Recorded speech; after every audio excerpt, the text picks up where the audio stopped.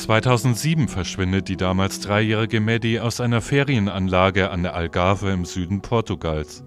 Jahrelang tappen die Ermittler im Dunkeln. Nun hat die Staatsanwaltschaft Braunschweig Mordermittlungen gegen einen 43-jährigen Deutschen aufgenommen.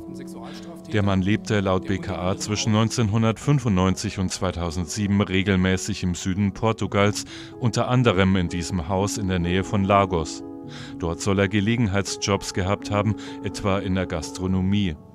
Außerdem gibt es Hinweise darauf, dass er in Hotelanlagen und Ferienwohnungen eingebrochen sein könnte und mit Drogen gehandelt hat. Der Tatverdächtige ist wegen mehrerer Sexualdelikte vorbestraft. 2019 wurde er vom Landgericht Braunschweig wegen der Vergewaltigung einer 72-jährigen US-Bürgerin in Portugal zu sieben Jahren Haft verurteilt.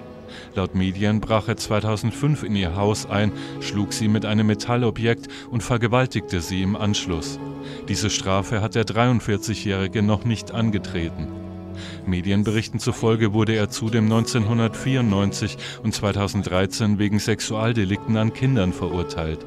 Der Mann verbüßt derzeit in Kiel eine längere Freiheitsstrafe in einer anderen Sache.